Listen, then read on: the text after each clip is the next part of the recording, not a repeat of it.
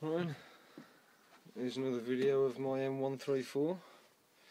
Um, there's a few changes been done to it, i.e. Um, an 18 volt supply, um, an 18 volt cordless drill, little light at the front, little switch at the back.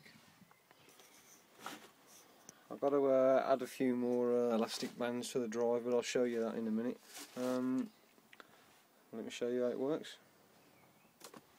Hit the switch.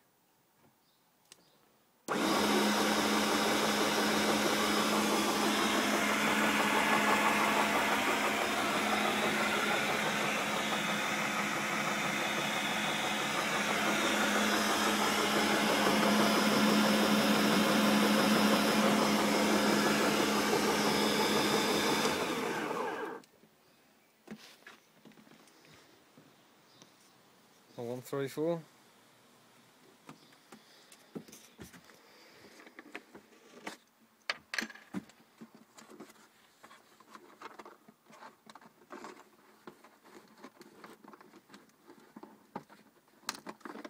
It's a bit tight. This one is.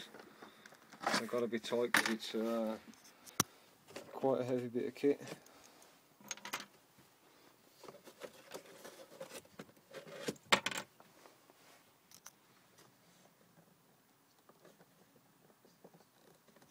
Have to place it on it.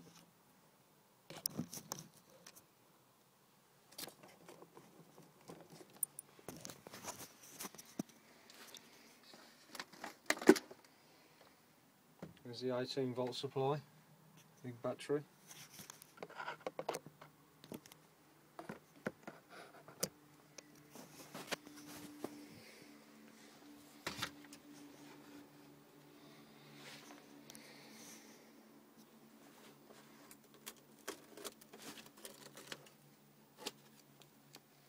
And this is how it works. A cordless drill. A little bit of carbon fibre rod for the prop. A little children's wheel. And when this spins, it hits the elastic bands there which causes drive off this tyre. And spins the turrets. In fact I'll put it back on show you the inside view of it working.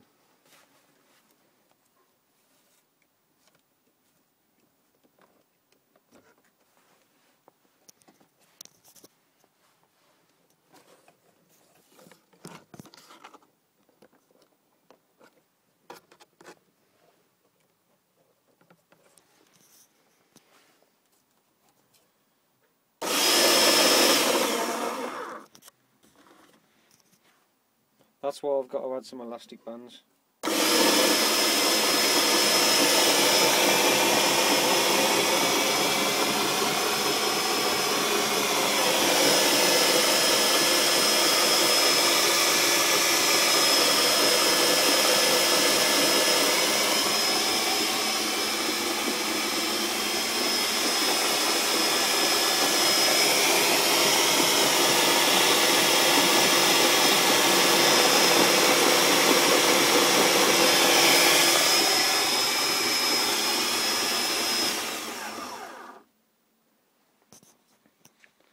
And that's it.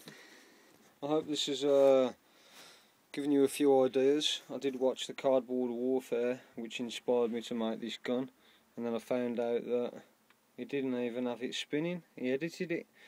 So I made this um, in a reply to that really. I watched the making of it and he explained that it would take too long and it would be too hard to make um, a spinning turret on a cardboard minigun so here it is.